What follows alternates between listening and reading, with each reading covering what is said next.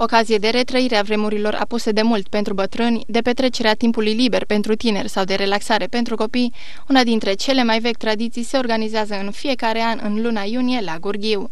Este vorba despre Târgul Fetelor, un eveniment deosebit ce a avut loc duminica aceasta pe platoul pădurii Mociar, după ce în urmă cu mai mulți ani mulți ani se desfășura la marginea satului. Schimbarea s-a făcut datorită verilor care au devenit tot mai calde și satului care era tot mai neîncăpător pentru iubitorii acestei tradiții. Cu toate că evenimentul durează doar o singură zi, pregătirile sunt începute cu câteva săptămâni înainte pentru ca totul să iasă perfect. Ca și primar și organizator al acestui târg, aș putea să vă spun că sunt uh, mulțumit. Uh, a fost un târg foarte frumos, a fost lume foarte multă, mai mult decât ne așteptam.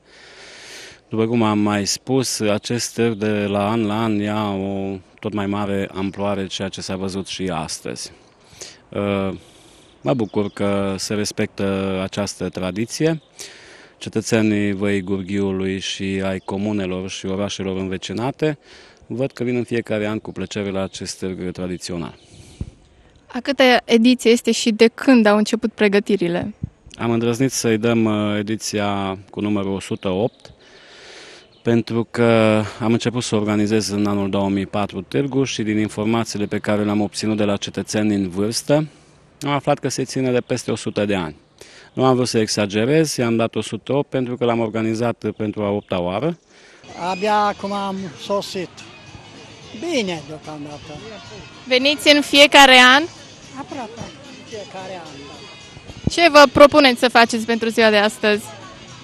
Să mâncăm un grătar, niște mititei, ceva, să facem ceva cumpărături și să mergem acasă, că suntem de aici. La ce vă așteptați să găsiți aici? Ce prețuri, ce obiecte, ce? Toate.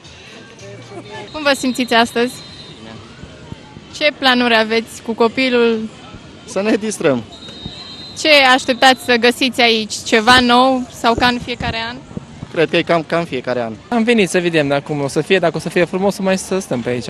Am venit de mult și sunt uh, multe frumoase, pentru copii, acum să vedem ce o să fie. Evenimentul este însoțit și de multe alte tradiții, spre exemplu, strigarea din coastă, unde feciorii se adună cu o seară înainte pe un deal din apropierea satului și strigă fiecare fată pentru a se pregăti de măritiș. Dis de dimineață, mamele vin la târg cu fetele, care mai de care mai împodobită.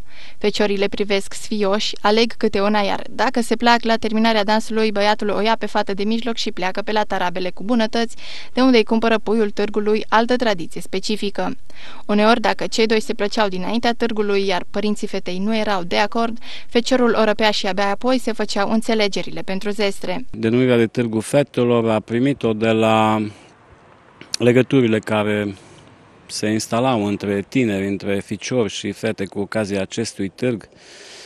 Erau uh, ore, jocuri multe, fiecare sat, fiecare comună avea jocurile lor uh, și acolo se întâlneau tinerii, se legau prietenii, înțelegeri și după care aveau loc căsătoriile. Astăzi am premiat 12 uh, cupluri care și-au sărbătorit nunta de aur, care au împlinit 50 de ani de căsătorie. Tocmai în gândirea că aceștia s-au întâlnit la acest târg uh, al fetelor, unde s-au cunoscut și am premiat pe scena Târgului Fetelor. Atmosfera din acest an a fost întreținută de soliști de muzică populară și dansuri folclorice care i-au încântat pe privitori.